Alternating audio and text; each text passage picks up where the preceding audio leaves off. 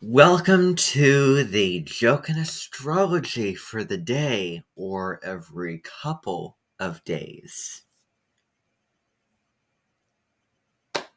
Beautiful.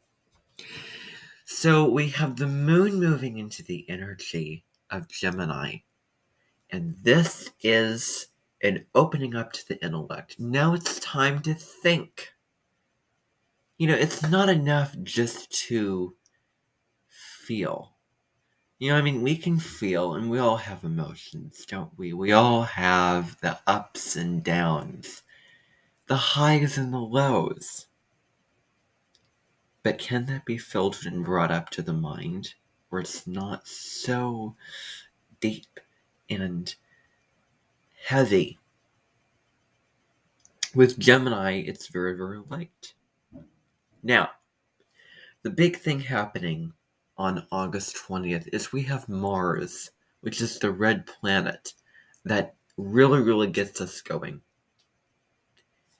You know, if you're a day where you're feeling very tired, very worn out, very drained, Mars is going to wake you up.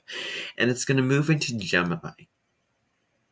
And when it moves into Gemini, your focus may not be just one thing, but a bunch of different things. And also, you're willing to talk it out to get what you want, not just tear somebody down, but to actually sit with them and use verbal tactics to get what you want.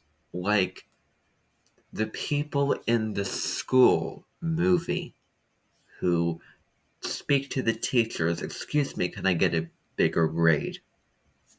A better grade.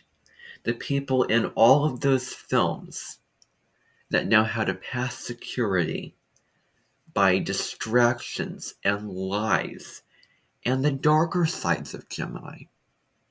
But let's not go there. Let's aim towards the lighter sides of this sign. And let's be honest, shall we? Starting now.